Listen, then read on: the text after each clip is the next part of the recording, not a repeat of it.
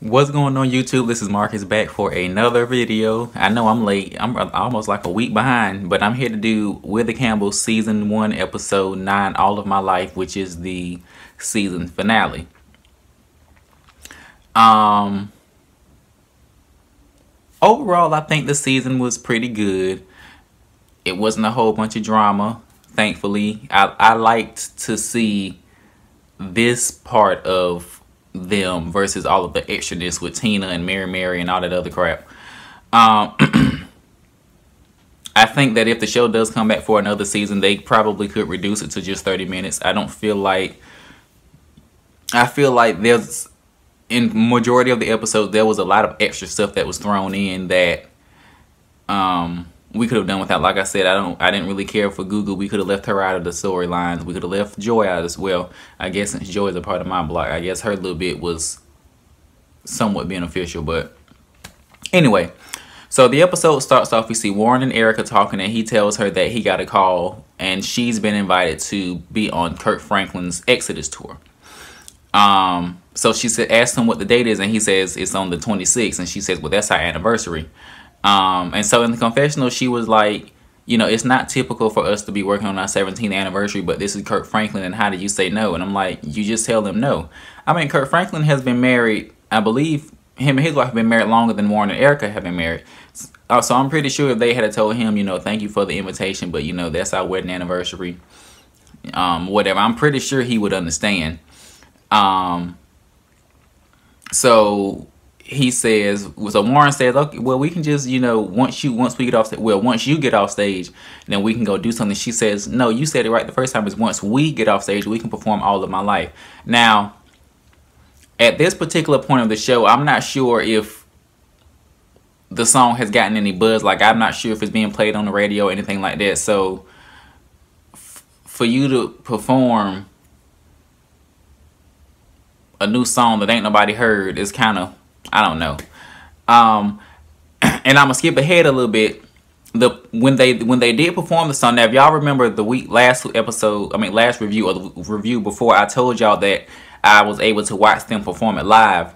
Well, the performance that I watched is the same performance that they gonna show in this episode. Um, and from what I could see, they got a pretty good response from the audience. So I guess you know. But anyway, so the next scene Erica and Misty are in the... Now, does Misty live with Erica or is she just always at their house? Like, I'm trying to understand. Do people have their personal assistants living with them? Like, because I'm assuming she, she must ain't got no man because she's always surrounded, in, engulfed in Erica and Warryn's business. But anyway... Now, and, and speaking of Misty, why did they wait to the last episode to give her a confessional? Like she been in, she been on the show consistently since since episode one. This the first, unless I'm missing something, but this is the first time I seen her in a confessional. But anyway, so they, if y'all remember, she did this thing on Instagram where the women were supposed to post themselves um, on Instagram wearing some of Erica's hair. They're supposed to tag her so she can see it, and whoever rocks it the best, they was gonna get a digital meet and greet. Now, me personally, I felt like the digital meet and greet was kind of cheesy. Like she could have flew somebody out there to meet her. But anyway, so they found the girl that won. You know, they did uh, FaceTimed her, a video chatted her, or whatever. Her and Erica got to talk, whatever, whatever. Um. So the next scene, Joi comes over, would you no? Yeah. So Joi and Mama Campbell come over. Um, Joi had just got back from tour and side note, Krista looked real mature with the braids and stuff in her hair. You know, and you can tell she's wearing makeup and she even I see she done had put on some of her mama's hoop earrings. I feel like the hoop earrings is a little bit too grown for especially hoops that big for a 13 year old. But anyway, um, so they all sitting down watching Joi's performance. Warryn tells her that she did a good job, and so Joi was like, you know, I feel good. I, I want to do this again. And so Warryn says, well, it's funny you mentioned that because I just got a call about some more shows.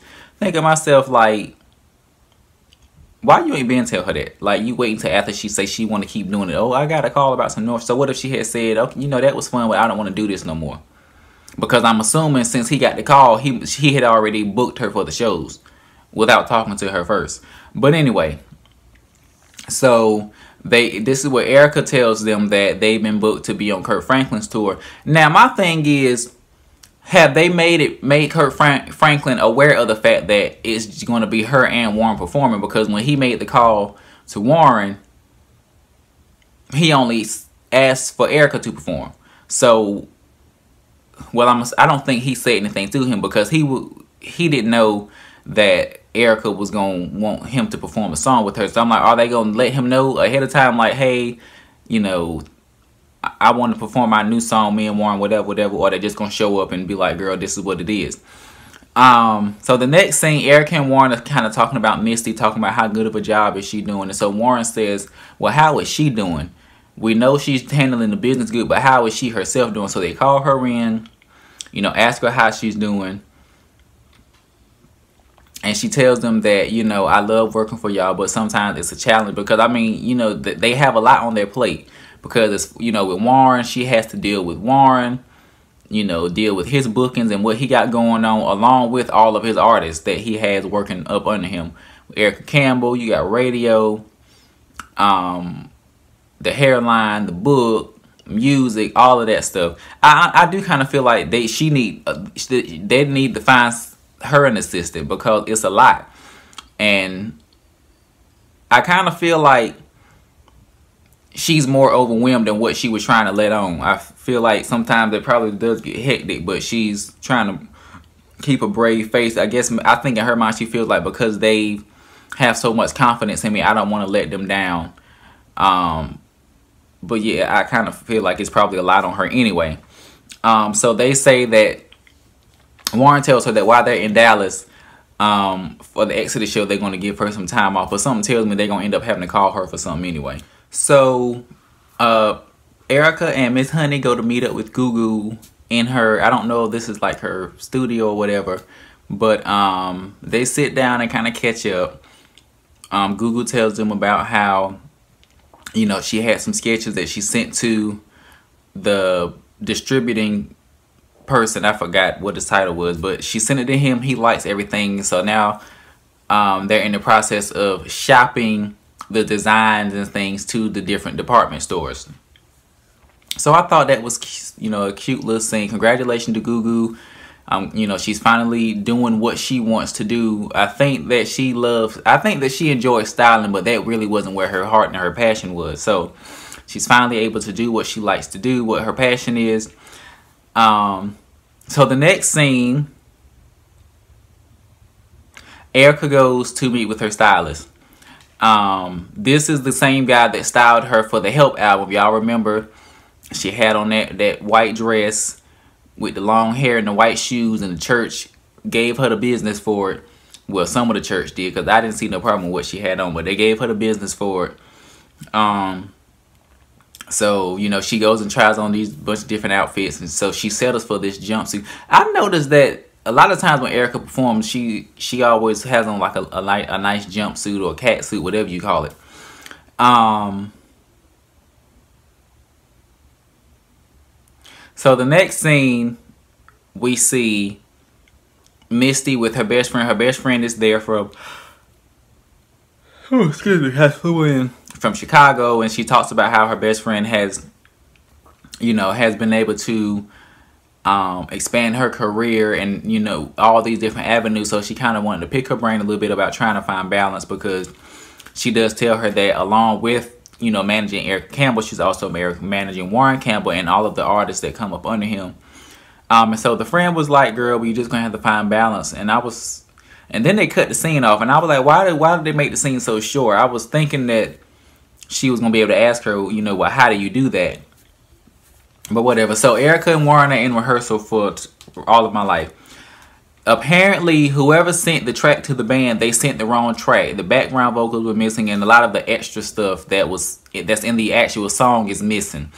So they having a hard time rehearsing because if they perform to the what they were sent, then a lot of the then they're gonna have Eric and Warryn are gonna have to not only sing their parts, but they're gonna have to like ad lib and add all that extra stuff that's missing. So um, he ends up sending a text to Misty while she's in the painting class.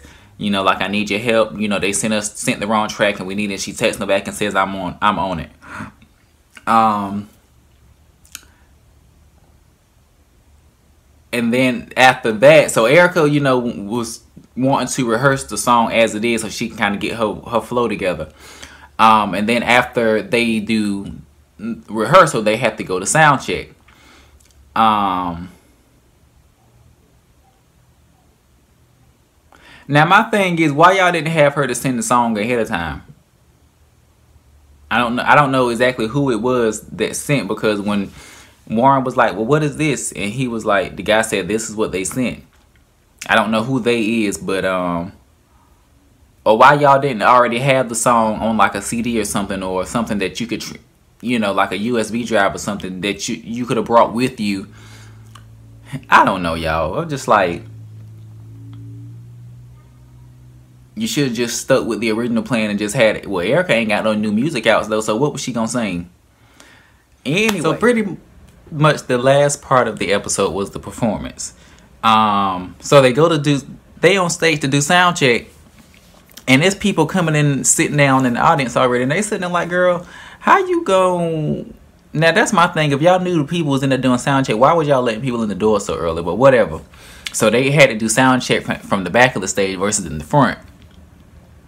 So the performance is here. I'm assuming that Kirk still didn't know that uh, Erica and Warryn was gonna perform together because when he introduced her, he only introduced Erica. So she come out on stage, she do a little bit of talking, she introduced Warryn, they perform. Audience like the song. Oh, excuse me. Hmm. So, the end of the episode, they go out for dinner for the anniversary. And they just kind of reflecting on everything. They, you know, talk for reflecting on the children, um, about how they're, you know, growing up and, you know, just the change of like when they were younger and, you know, firstborn and how they are now.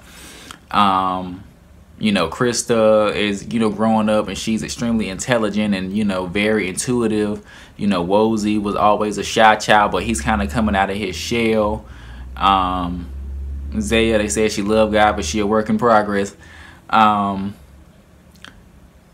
and then this, the scene kind of got very emotional because um, you know they was talking about how they've been married for 17 years and erica says well you know is it okay that i'm loud in the morning? He says you know yeah because if you weren't there and i just couldn't imagine you know life without you being there. And so you know if they get emotional and then they do you know a reflection.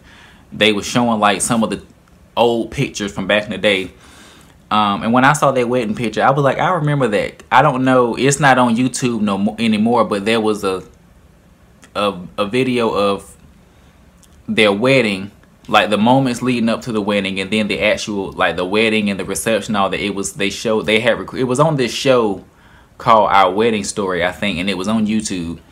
Um, but it's not up there no more. So when I was watching, I was like, I remember that. Um, they met. They had what he say they met 20 years ago they got married 17 years ago and then they were showing different pictures of like when erica was pregnant with krista and when she first had krista and all of that. Thought that was really cute. Um, i think that the show ended on a good note but but at the same time the way it ended. You know most time if a show was gonna come back for another season it kind of ends on a cliffhanger but i don't know. The way it ended i'm not sure if it's going to be another season or not um but anyway, thank y'all for rocking with me throughout this journey. Um, I think I reviewed just about every episode. Um, but anyway, if there's anything that I missed, y'all can of course leave it in the comment section. We can talk about it.